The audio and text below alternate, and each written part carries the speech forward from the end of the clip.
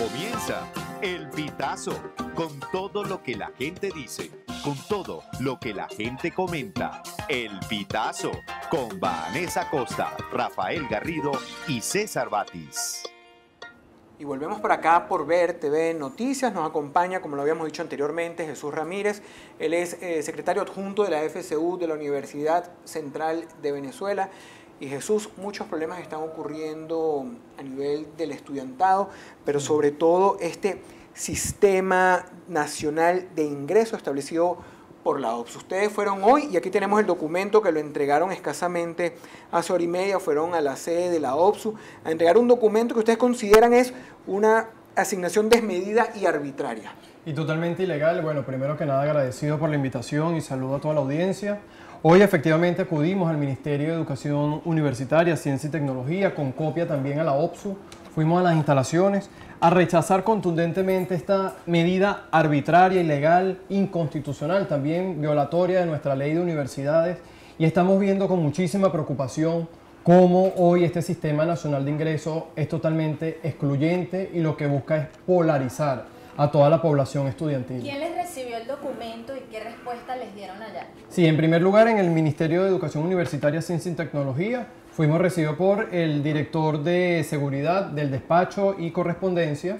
Eh, firmaron y nos tomaron fotografía, además también de manera eh, para intimidar.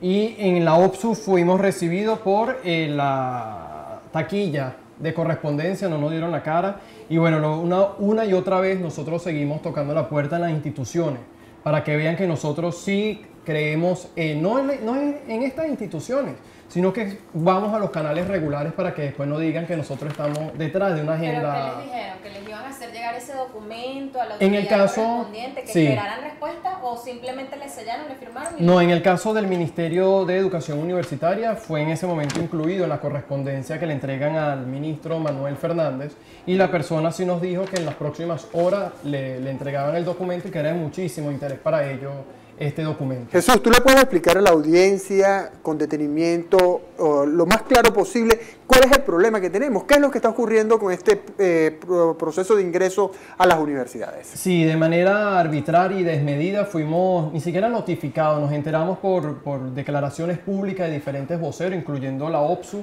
y Manuel Fernández del Ministerio de Educación Universitaria, una cantidad brutal, o sea, me atrevo a, calificarlo de esa manera, de un, un primer listado de bachilleres que fueron asignados a, diferentes casas de estudio, específicamente la UCB y la Universidad Simón Bolívar son una de las más afectadas por esta asignación.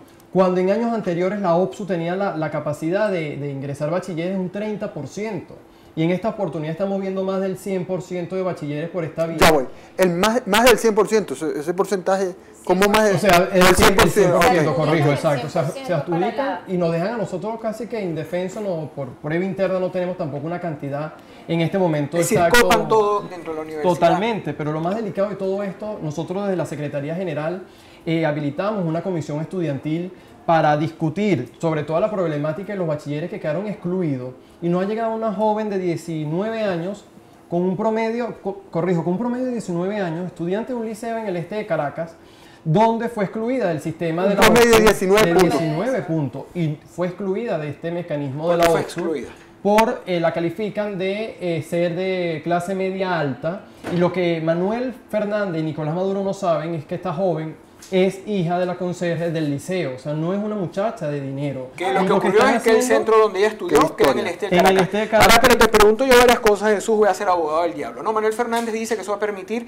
administrar mejor los ingresos que van a las universidades que esto va a permitir que haya un equilibrio entre los estudiantes de la educación privada y la educación pública y que no se está violando la autonomía universitaria. Ustedes en el documento dicen que esto atenta contra la autonomía universitaria y que no se trata de meter a estudiantes eh, por cantidad a las universidades. Realmente, ¿cuál es el problema? Porque sé que se habla de 80% es para los que vengan de una escuela pública y el 20% restante es para los que vengan de un colegio privado. Correcto. Mira, una de las cosas que nosotros también en este documento que le consignamos hoy al ministro Manuel Fernández es que vemos muchísima preocupación cómo este mecanismo no tiene una tabulación exacta.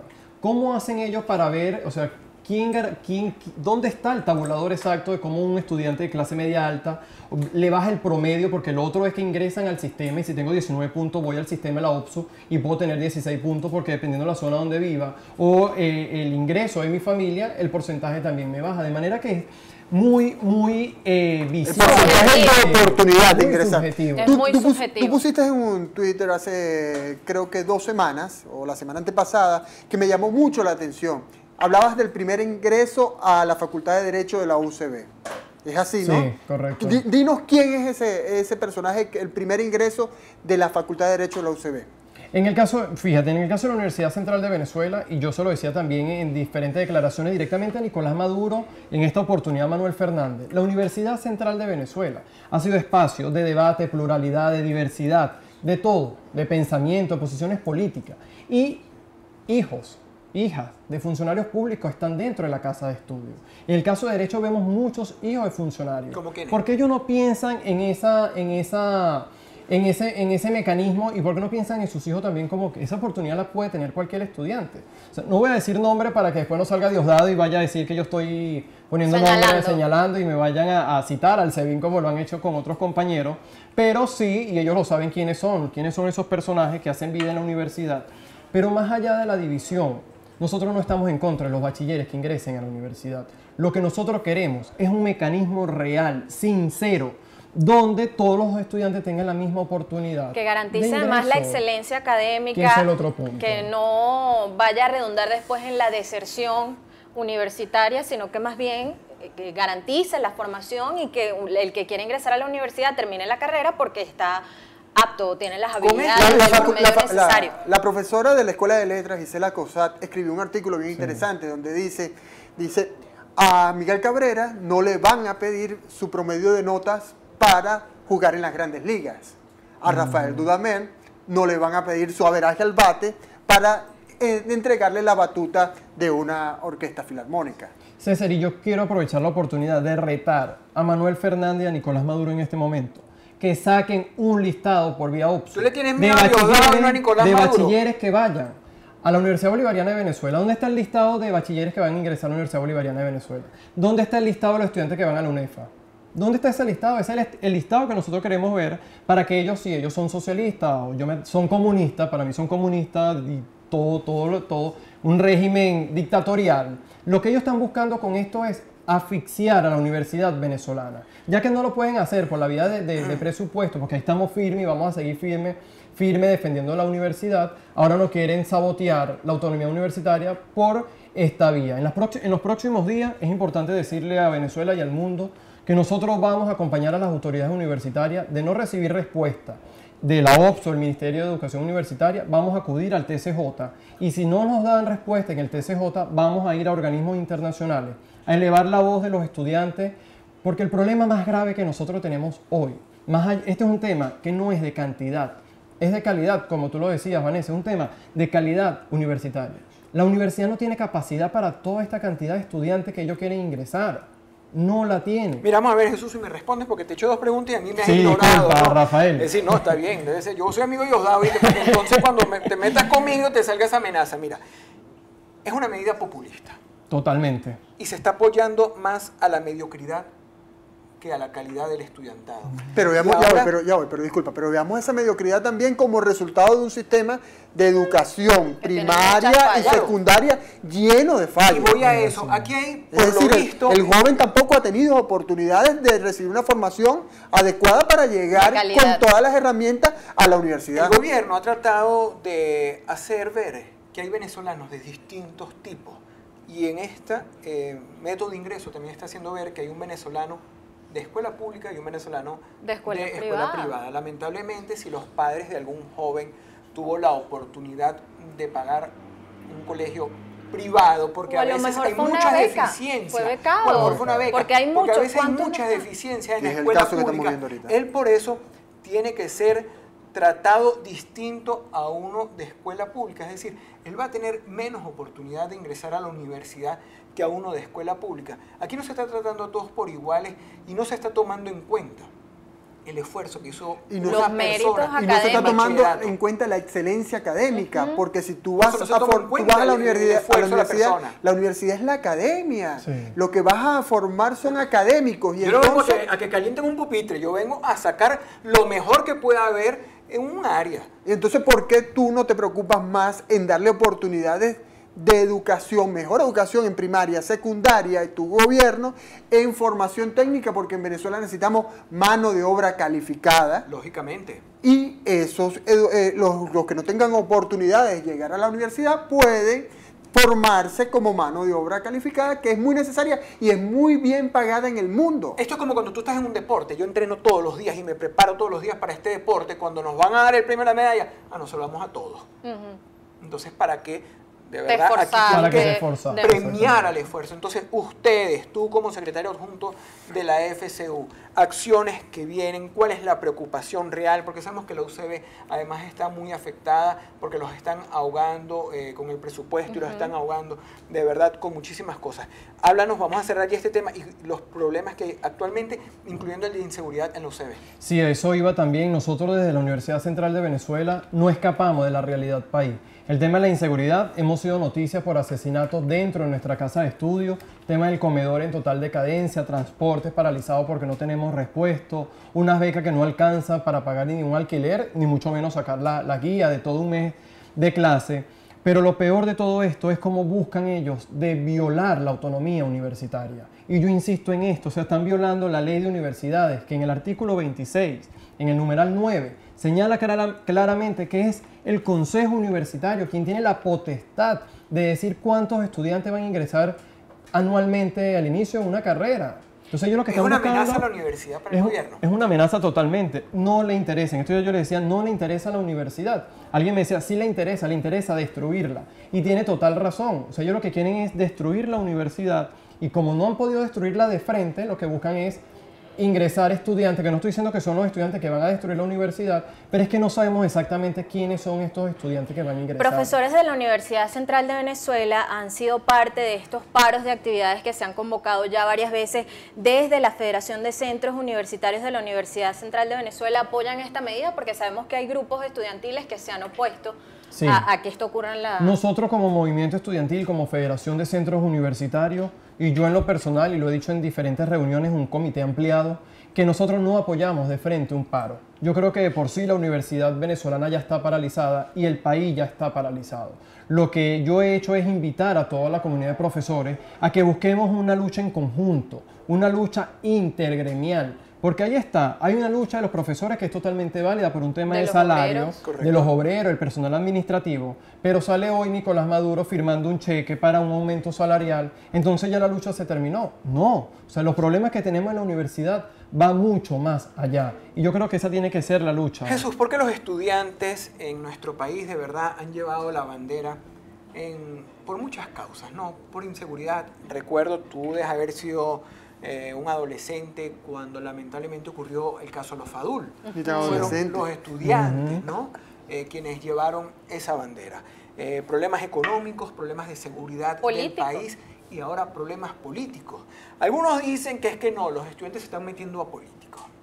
Yo creo que los estudiantes siempre han llevado la lucha. Actualmente ustedes como estudiantes, y te hago la pregunta por lo que me dijiste anteriormente, no, de, no mencionar personas quizás por protegerte, pero ustedes son a diario amenazados por los cuerpos de seguridad. Se han visto milanados y además estos compañeros tuyos que están haciendo huelga, de, hambre. Mi, solidaridad, mi solidaridad total con todos los estudiantes a nivel nacional que están en huelga de hambre, en Monaga, hoy en, escuché en Táchira también dos compañeros que se sumaron, aquí en Caracas, en la iglesia de Guadalupe.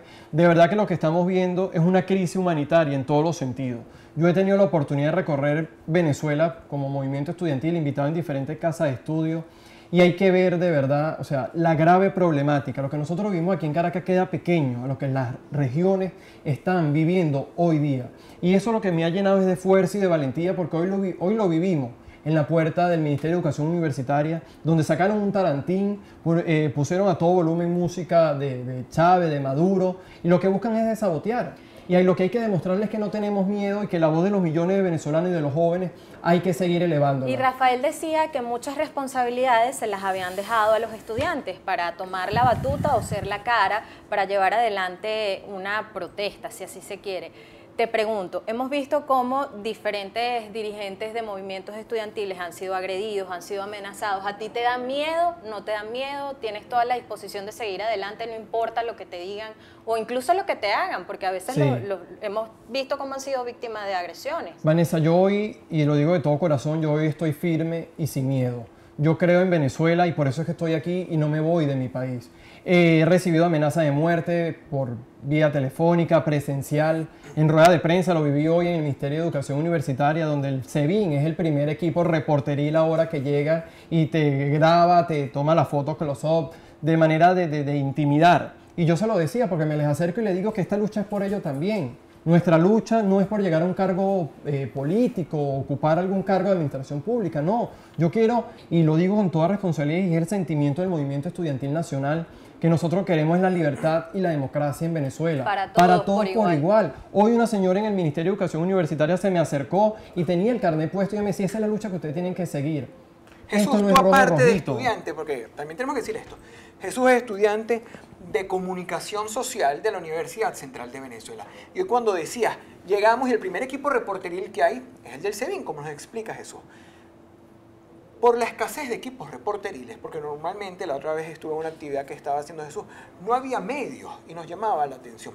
Por eso sale el pitazo, porque nosotros le estamos llevando la información a todos los venezolanos. ¿no? Pero ¿qué opinas tú de la censura, de la violación de la libertad de expresión y el derecho a la información al venezolano que se ve cercenada? Mira, hoy en Venezuela no hay libertad de expresión. Hoy en Venezuela vemos una censura y una autocensura también. Pero déjame, déjame, ser abogado del diablo. Tranquilo. No hay libertad de expresión, no estamos expresando acá. No, totalmente. Y, hacia allá iba también porque de hecho hoy en, ese, en la rueda de prensa en el ministerio llegó el equipo de CIPSI, el Sistema Nacional de Medios Públicos.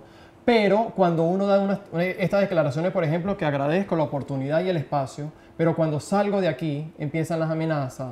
No sabemos si estas declaraciones son parte de un expediente que está en el SEBIN porque todos los o para que lo usen en sus programas. Eh, o lo usen también hacia allá iba el canal que debería ser de todos los venezolanos como es BTV que no lo es.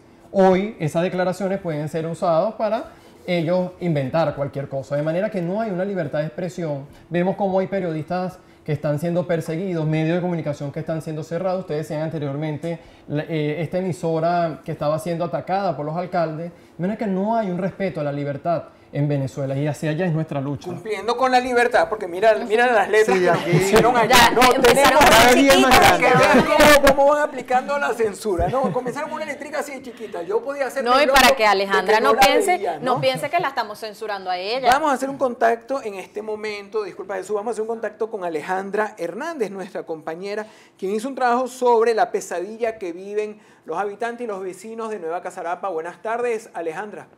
Hola, buenas tardes muchachos, ¿cómo están? Muy bien, ¿cómo te va? Bienvenida, te escuchamos Alejandra. Bueno chicos, miren, el caso acá en el urbanismo Nueva Casarapa es súper, súper grave. La inseguridad se ha comido por completo el concepto con el cual se creó ese urbanismo.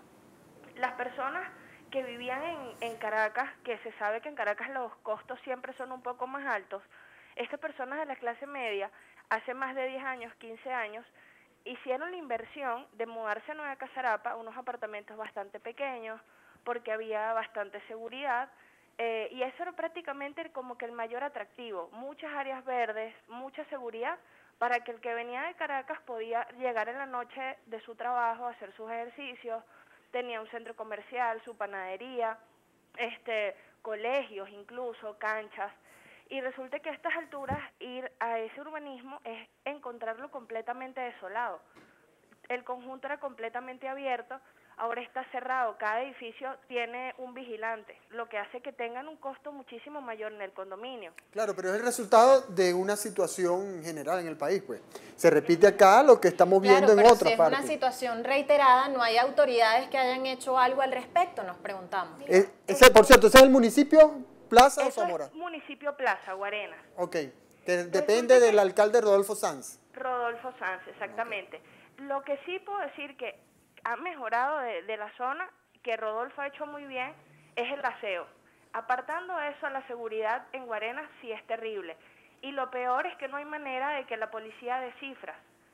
Eh, las cifras que se manejan son las de la misma gente que medio se atreve a hablar con uno pero sin decir nombres, porque ese es otro miedo. Están registrando más o menos dos robos por noche, eh, de, dos robos de carro por noche. El carro lo puedes encontrar montado en cuatro bloques, desvalijado por completo, como puedes encontrar que nada más te roban el equipo. Pero ya, ya eso es una cuestión delicada. La gente que sale de madrugada para trabajar en Caracas deben salir más o menos a las cuatro, cuatro y media de su casa para agarrar el autobús. Ya a esa hora están atracados casi todos. Si no te atracan en el autobús, te atracan caminando hacia el autobús. Hay muchos secuestros. La gente está súper asustada. Conseguir que declararan fue de verdad misión imposible. Incluso hay un caso más que se ha presentado con la inseguridad en la zona y es que allí hay un gimnasio privado muy bueno y resulta que en un día eh, del mes pasado, como a las 7 de la noche, llegaron unos tipos armados y robaron a la gente en el gimnasio. Solo que conseguir que la gente del gimnasio nos declarara también fue misión imposible por el miedo a las retaliaciones, a que después vayan y los secuestren.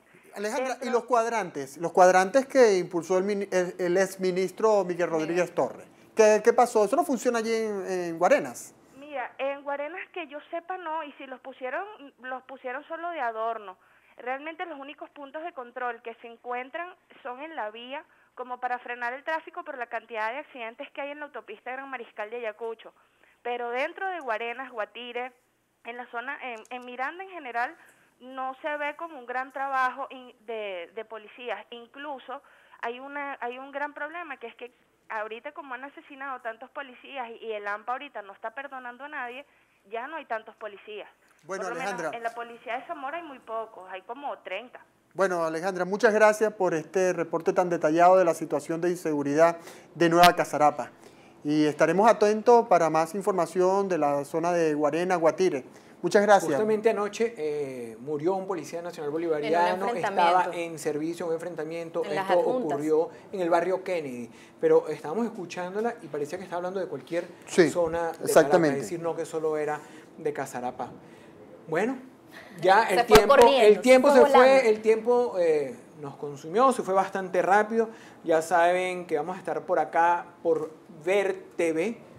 Pareció el canal de todos los venezolanos, sí, el canal de todos los venezolanos por, por internet, Ver TV es ver TV Noticias. Mosca con, con, con, lo que anote. Ver TV, ver con R. Escucharon a Pinky, ¿no? Ver TV Noticias. Vamos a estar ver a seguir a través de Radio Capital también. Radio así Capital que por allí nos pueden sintonizar. Por nuestras redes sociales arroba Rafa Garrido 1, arroba Babi 90, arroba El Pitazo TV y arroba C Batiz. Dime, dime, dime, dime. Eh, no, no, me vas a hacer, no me vas a hacer ver TV. arroba Ver TV Noticias. Ah, no, pero.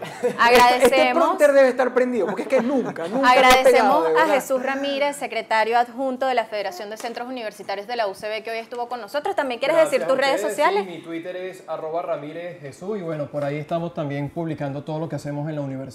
Nos despedimos entonces hasta mañana en la misma hora. No, hasta el lunes. Ay, ¿verdad? sábado, viene sábado. Bueno, ya tengo ganas de trabajar un sábado. ¿Cuál es el problema? Mañana viene ella solita, así que bueno, me avisas, yo lo voy a ver eh, por diferido. Pero bueno, tu monólogo. De lunes a viernes, de 1 a 2 de la tarde, por Ver TV, por Radio Capital 710, El Pitazo.